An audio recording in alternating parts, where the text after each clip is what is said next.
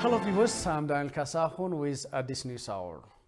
The 36th ordinary session of the Executive Council of the African Union has kicked off here in Addis Ababa at the African Union headquarters in Addis Ababa. The two-day meeting was opened with a welcome remark by the chairperson of the African Union Commission, Musa Faki Mahamat. The Executive Council will consider the draft agenda and the draft decisions and deliberations of the Assembly with appropriate recommendations for consideration by the heads of state scheduled to take place from February 9th to 10th, 2020. The meeting of the Executive Council brings together all the ministers of the 55 African Union member states based in Addis Ababa as well as AU officials.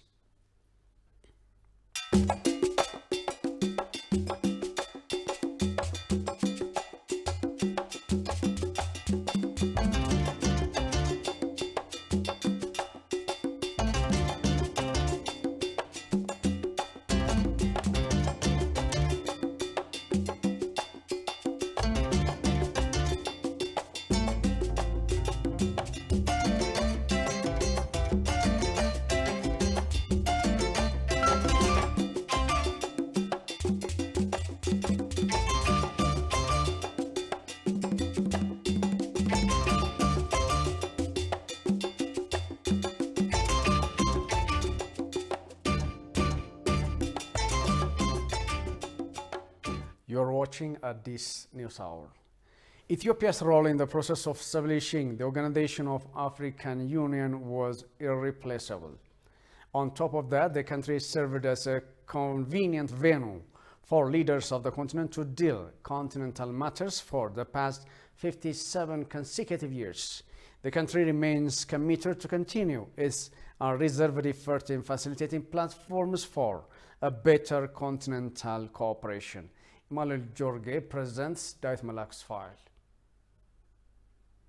The age-old continental organization has been toiled to nurture fraternity and unity among African brothers and sisters since its establishment. The inception has lived within African governments and peoples for more than half a century. The journey of African unity has never been easy nor was it full of triumphs. The organization has passed through many ups and downs to reach where it is today. Ethiopia's role in realizing such a huge continental organization was immense. Ensuring peace in the continent continues as a priority for the organization. When it comes to the prevalence of peace, it is not about deadlines, but it would be an issue that matters most to us. Take the Ethiopia peace deal. You can imagine its impact to the region at large. The successful power transition process in Sudan, guided by the African Union chairperson Musa Faki Mohammed and IGAD chair Ethiopian Prime Minister Abiy Ahmed, is a vivid illustration of the spillover effects of peace-building initiatives. Ethiopia has managed to offer the best platform for Africans to converge and deal with their own matters for the past 57 years here in Addis Ababa. When Ethiopia represented the continent in the League of Nations, it realized that coming together is the best option for Africans to overcome their problems. That initiative resulted in the formation of the Organization of African Unity. Our diplomatic relationship is still solid with our neighbors and other African countries.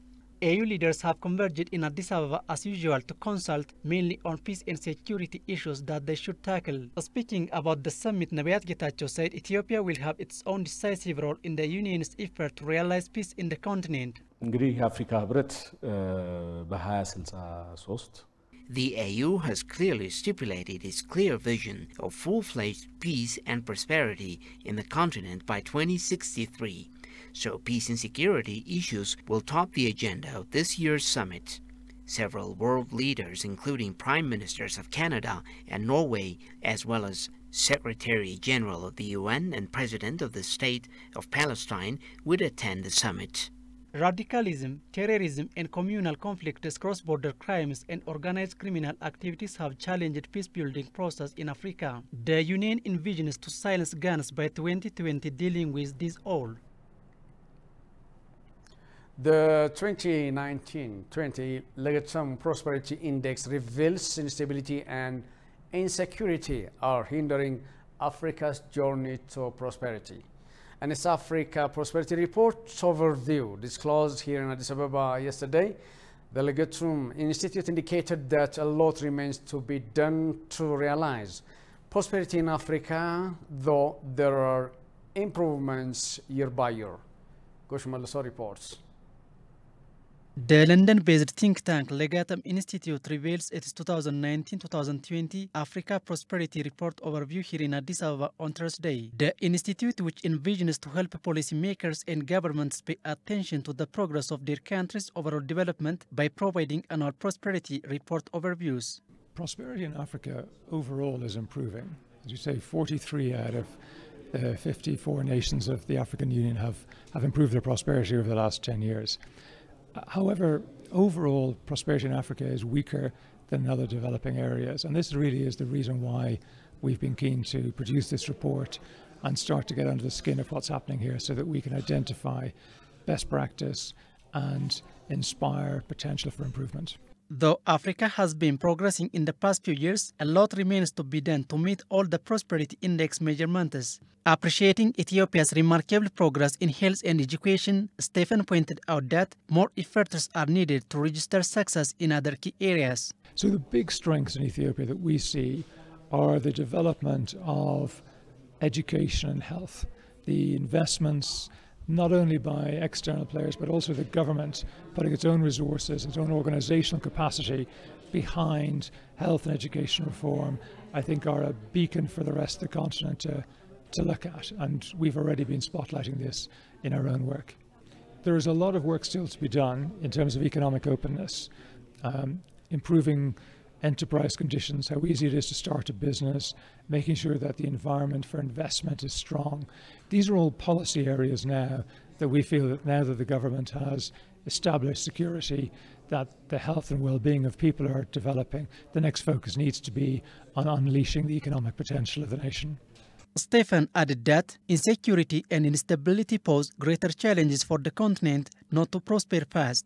So the main challenge to achieving prosperity on the continent is the continued issue around safety and security. Without a bedrock of safety and security and stability, economic growth is always going to be hard. Social well-being is always going to be hampered. So our view is the first challenge is establish safety and security, but closely followed by the need to make sure that civil society and the social contract are developed so that security is based ultimately on trust rather than force. Peter Roble from Horn Economic and Social Policy Institute for his part said countries like Ethiopia need to ensure peace to guarantee investments. Of course, all these factors need to be taken very seriously. As a government policy has to be entrenched on some realistic, you know, uh, factors. And as I said, uh, investment, you know, uh, always looks for stability and guarantee that there is a certain environment that's very conducive to it. This, this, has been said so many times. And I think the, the environment that exists in Ethiopia today, of course, we have some challenges in terms of uh, some uh, particularly insecurities in some parts of the country, but by and large, I think the picture is very conducive for it. According to the Prosperity Index, Botswana came out as the best progressive nation in Africa, while South Sudan and Central Africa Republic are at the bottom list. The Minister of Water, Irrigation and Energy says Ethiopia is committed to sign the comprehensive document of the ongoing GERD agreement. The agreement document encompasses four major areas. It was disclosed during a press conference. Sintayo Tamrat reports. Ethiopia, Sudan, and Egypt have been in a serious negotiation over the $4 billion GERD project for the past eight years. Despite lengthy negotiations, the three Nile Basin countries have been unable to reach final agreement on issues such as water filling time of East Africa's biggest hydropower dam. Over the past couple of months, however, the three countries have been holding the negotiation in the presence of the two giant observers, the US and World Bank. During a press briefing here today, Minister of Water, Irrigation and Energy Seleshi Bekele said the latest version of the eight-year-long agreement document encompasses four fundamental elements. We are dealing with four distinct documents. The first one is what we call Annex 1, which is a technical document uh, that is more or less done sorting out our differences. There, are, there were minor issues that are postponed to be resolved, and some of them were resolved at 11th hour. Therefore, uh, the remaining issues are not significant. The remaining three items include legal provision, uh, issues related to conflict, peaceful settlements of uh, differences, uh, issues uh, also related to coordination mechanism and data exchange. Seleshi told journalists that the agreements will not affect Ethiopia's right of using the water in the future. Some seasoned Ethiopian legal experts have been recruited, Seleshi said, adding they are working exhaustively on the preparation of the legal frameworks. Although Ethiopia could negotiate on some articles of the technical document, the legal aspect has issues that need to be amended, Seleshi said. That explains why meticulous preparation is being made in a way that will maintain Ethiopia's interest over the Nile, Seleshi mentioned. The minister also said Ethiopia will not sign any incomplete document. Seleshi further said the comprehensive document, which is under preparation in Washington, could be signed soon or by the end of February 2020, depending on the pace of completion of the legal framework. But Ethiopia is committed to sign the agreement only if both the technical and legal frameworks are ready. We'll be ready until next week, uh, and if there are uh, uh, minor differences, the ministers will resolve them. Again, a three countries meeting uh, whereby uh, the World Bank and uh, the US government observe the discussion. Of course, we, we are committed to sign, but we sign a real and all-inclusive document, not piecemeal.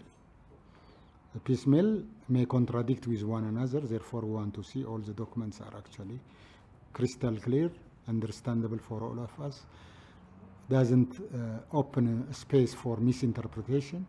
Therefore, we want to see the legal, the conflict resolution, and data exchange coordination mechanism. So we're confident that uh, our uh, three countries team, uh, with the presence as observers and supporters of this process uh, from U.S. government and World Bank, will arrive at uh, converging document for all of us. Moreover, Seleshi indicated the pressure the four parties are experiencing along the course of the negotiation because the decision to be made is a serious one. Uh, pressure felt, of course, pressure is everywhere. Uh, pressure is there on, on uh, negotiators, pressure is there on the countries, there is pressure on other countries. Uh, this is a serious matter that uh, we have to look into not compromises, but win-win actually, that helps each country. Uh, finding those win-win creates a lot of pressure.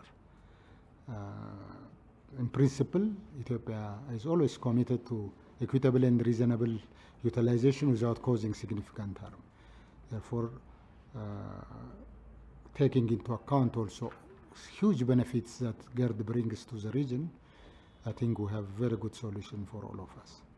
Some phases of filling the dam include phase 1, during which 4.5 billion cubic meters of water could be filled for initial generation, are never open for negotiation, it was disclosed.